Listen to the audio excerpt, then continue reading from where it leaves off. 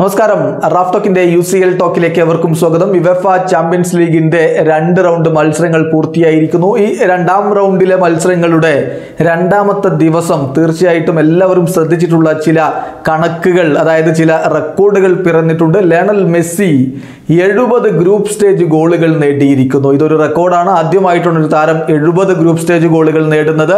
UEFA champions ലീഗിൽ ഇപ്പോൾ group സ്റ്റേജിൽ ഏറ്റവും അധികം ഗോളുകൾ നേടിയിട്ടുള്ള താരമാണ് ലയണൽ മെസ്സി. അദ്ദേഹത്തിന്റെ ആ ഒരു ഗോൾ നേട്ടം ഗ്രൂപ്പ് സ്റ്റേജിൽ മാത്രം എഴുപത് ഗോളുകളിലേക്ക് എത്തിയിരിക്കുന്നു. ഒപ്പം ഏളിംഗ് ഹാലൻഡിന്റെ ഗോളടി മികവ് അദ്ദേഹം എല്ലാവരെയും വിസ്മയിപ്പിച്ചുകൊണ്ട് മുന്നോട്ട് പോയിക്കൊണ്ടിരിക്കുകയാണ്. കഴിഞ്ഞ സീസണിലാണല്ലോ അദ്ദേഹം യുവഫ ചാമ്പ്യൻസ് ലീഗിൽ ആദ്യമായിട്ട് കളിക്കുന്നത്. ഇപ്പോൾ യു സി എല്ലിൽ അദ്ദേഹം പത്ത് ഗോളുകളാണ് പന്ത്രണ്ട് ചാമ്പ്യൻസ് ലീഗ് മത്സരങ്ങളിൽ നിന്ന് ഇതുവരെ അദ്ദേഹം നേടിയിട്ടുള്ളത് പത്ത് ഗോളുകൾ. പന്ത്രണ്ട് മത്സരങ്ങൾ പത്ത് ഗോളുകൾ. ഒപ്പം എട്ട് ഗ്രൂപ്പ് സ്റ്റേജ് മത്സരങ്ങളിൽ നിന്ന് ഏഴ് ഗോളുകളും സൂപ്പർ താരം നേടിയിട്ടുണ്ട് ഒരു സംശയവും വേണ്ട. വരുന്ന ഭാവിയിൽ നമ്മൾ ഇനിയും ഒരുപാട് എളിങ് ഹാലൻഡിനെ കുറിച്ച് കേൾക്കും എന്ന് വ്യക്തമായി തെളിയിക്കുന്ന പ്രകടനമാണ് അദ്ദേഹം ഇപ്പോൾ നടത്തിക്കൊണ്ടിരിക്കുന്നത്.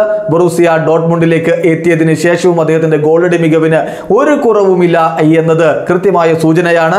അദ്ദേഹം ആദ്യം കളിച്ചിരുന്നത് നമുക്കറിയാം സാൽസ്ബർഗിന് വേണ്ടിയാണ്. അവിടം വിട്ടിട്ട് യൂറോപ്പിലെ ടോപ്പ് ഫൈവ് ലീഗുകളിലേക്ക് ലീഗുകളിൽ ഒന്നിലേക്ക് ചേക്കേറിയിട്ടും ആ യുവതാരത്തിന്റെ ഗോളടി മികവിന് ഒരു കുറവുമില്ലെങ്കിൽ അത് കൃത്യമായ സൂചനയല്ലേ?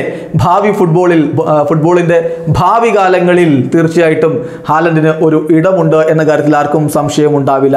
കഴിഞ്ഞ ദിവസത്തെ മത്സരത്തിൽ ഒരു പോയിന്റ് നേടിയതോടുകൂടി ഫെറങ്കവറോസ് അവരുടെ ചരിത്രത്തിൽ ഒരു പ്രധാനപ്പെട്ട നാഴികക്കല്ല് പിന്നിട്ടിരിക്കുകയാണ്. ഇരുപത്തിയഞ്ച് വർഷങ്ങൾക്ക് ശേഷമാണ് അവർ ആദ്യമായി ഒരു യൂറോപ്യൻ ഫുട്ബോൾ മത്സരത്തിൽ ഗ്രൂപ്പ് സ്റ്റേജിൽ ഒരു പോയിന്റ് നേടുന്നത്. തീർച്ചയായിട്ടും അവരെ സംബന്ധിച്ചിടത്തോളം അത് വലിയൊരു നേട്ടമാണ്. ഒപ്പം ഈ ഒരു രണ്ടാമത്തെ മാച്ച് ഡേയിൽ എടുത്തു പറയേണ്ട ഒരു കാര്യം മാർക്കസ് റഷ്ഫോർഡിന്റെ പ്രകടനമായിരിക്കും.